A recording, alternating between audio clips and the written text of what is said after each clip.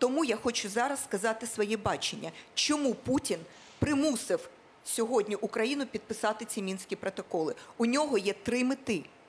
Перша мета йому треба продемонструвати західному світу, що тут є ілюзія перемир'я. Що він від цього відтримує? Перше припинення нарощення санкцій західного світу проти Росії. Тобто він таким чином каже: ну подивіться, є якийсь протокол про перемир'я, і тому навіщо ви вводите санкції проти Російської Федерації? І дійсно, сьогодні зупинене введення наступного рівня санкцій проти Російської Федерації з боку ЄС і Сполучених Штатів. Тобто він виконав перше своє завдання.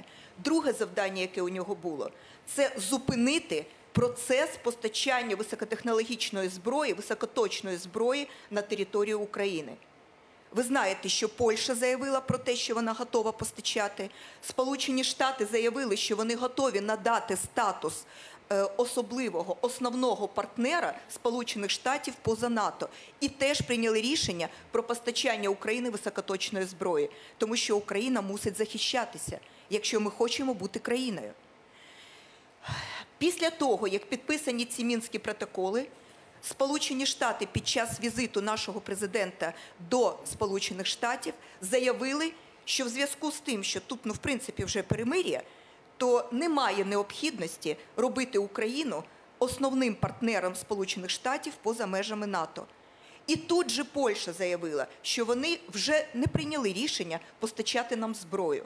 Тобто Путін досяг другої мети. Він зупинив процес постачання дуже важливої і дуже потрібної зброї Україні. І третє, що він зробив третє? Він, по суті, справи демобілізував нашу оборону. Якщо вже практично ми на шляху до миру, то навіщо нам будувати збройні сили?